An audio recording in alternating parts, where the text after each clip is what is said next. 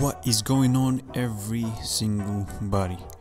Cynical Slaya here, back with a brand new video for all my 9 subscribers and I'm on the road to 10, you know, grinding the videos, so hopefully I get that very soon.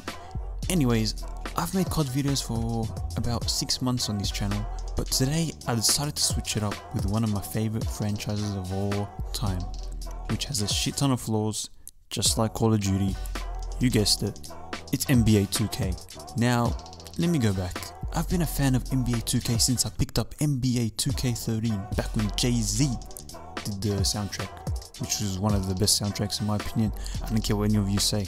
And I picked it up due to the GOAT NBA 2K YouTuber, The Godfather, Chris Smoove himself. Bro, I used to love watching his COD commentaries until he stopped at around Black Ops 2 and to be honest I don't blame him. He focused on NBA now.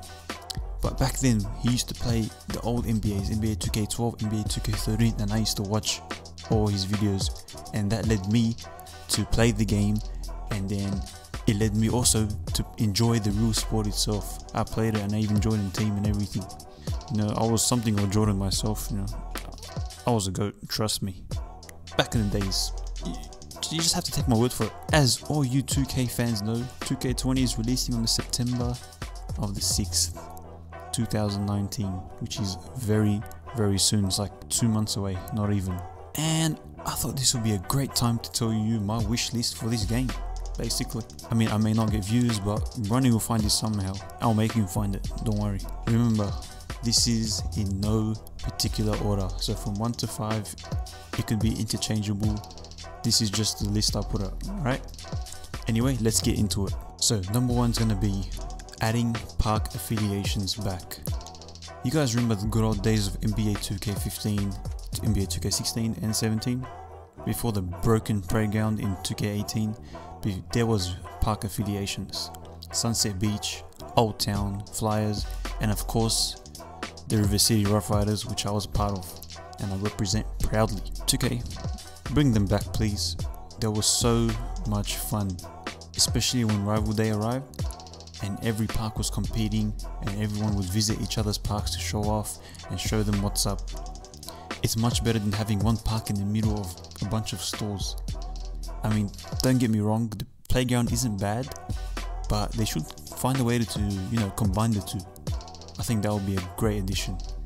And it would satisfy everyone who liked the park and everyone who wants a park affiliations. Number two, remove the dual archetypes. Now, dual archetypes, dual archetypes. Man, what the hell happened? Whatever happened to inside, outside and balanced? That shit was fun as hell. Geez 2K, it seems like every year you guys try to cater to esports and 2K League when the majority of your fan base just wants to hit the park and have fun with friends or fucking around. We should not have to be constricted to one or two archetypes. I want my player to be a LeBron James or a Kevin Durant not just a sharpshooter like Kyle Korver. Bring the fun back to K. Come on, scrap the dual, dual archetypes please. Number 3. Scrap Road to 99. Ah, Road to 99. Remember that boring, tedious, shitty system in 2K? Oh wait, it's still here. You do know majority of us have lives, right? We're not streamers or YouTubers who get paid to do this shit. And even then, the YouTubers and streamers, most of them don't even hit to 99 or even 95. Man, I'm, I'm trying to, what I'm trying to say is I don't want to spend my whole day grinding out my career just to reach one level higher. Like, geez, seriously, I made one shot creating sharp, grinding him for so long, paid money on him for VC, which I heavily regret, and I only reached up to 92. Like, what the fuck, 2K? That's some cheese, bro.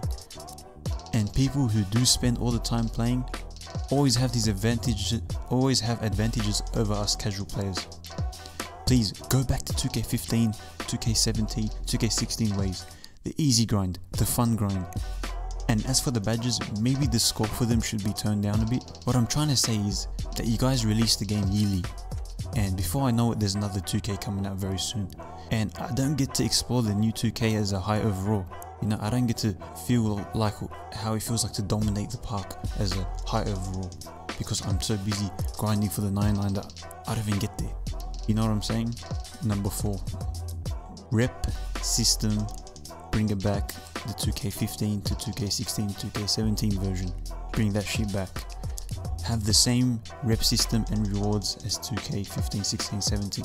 The old rep system with the crowns was so much better than the ones we have in 2K19.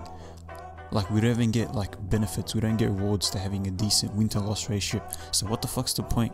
It's all about bragging rights. Like, in my opinion, who the fuck cares if you're an Elite 3 or an Amateur 2? Bring back the OG rep system. It sounds like a rant video more than a wish list, but this game, like, I love it, but it just, you know, it frustrates me. Anyway, number 5. Affiliation boosts. Now, finally, this was an original idea that I found on Twitter, which basically struck to me. Affiliations boosts, man, that sounds like a unique concept straight up. So you guys remember 2K15, 16, 17, which I keep referring back to, and for good reason.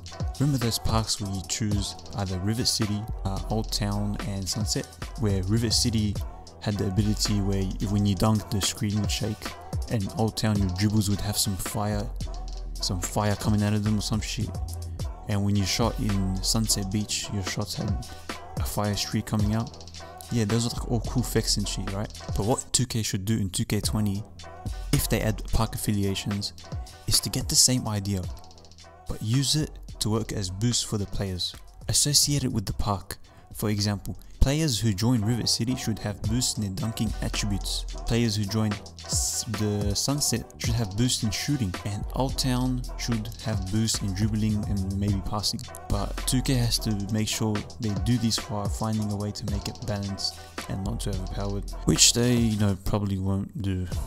Anyway, that has been my short wish list for NBA 2K20. Let me know what you guys think. Like, subscribe, comment, all that good shit. We're on the road to 10 subscribers and going strong in this YouTube game. And you know, YouTube, it's not as easy as it looks, but whatever.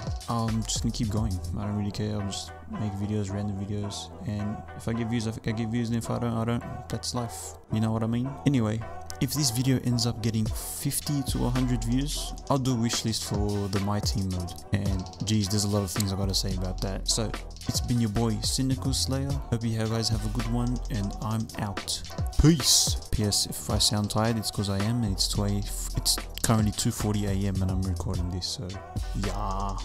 Bish.